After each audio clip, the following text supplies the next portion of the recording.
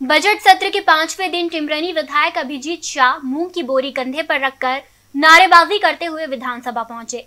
उन्होंने भाजपा सरकार पर किसान विरोधी होने का आरोप लगाया। टिमरनी विधायक अभिजीत शाह ने सरकार पर किसान विरोधी होने का आरोप लगाया है। उन्होंने कहा, किसानों के लिए नया नियम पारित कर दिया है, जिससे किसानों को नुकसान होगा। पहले 16 क्विंटल प्रति हेक्टेयर खरीदी का नियम था, जिसे अब सरकार ने 8 क्विंटल प्रति हेक्टेयर कर दिया है। ऐसे में किसान अपनी फ़सल कहाँ बेचेगा? उन्होंने कहा कि मेरी मांग है सरकार नियम बदलकर पहले की तरह खरीदी करे। मैंने सदन में ध्यान आकर्षण भी लगाया था लेकिन सदन ने स्वीकार नहीं किया।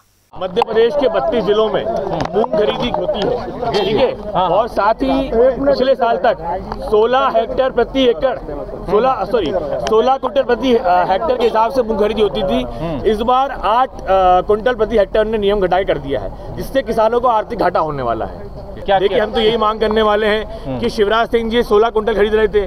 आप अगर उनसे भी बड़े किसान हितेशी हो तो 18 कुंटल खरीद लो। लेकिन आपने 18 करने की जगह आपने 8 कुंटल कर दिया है। तो ये स्पष्ट है कि किसान विरोधी सरकार है भारतीय जनता पार्टी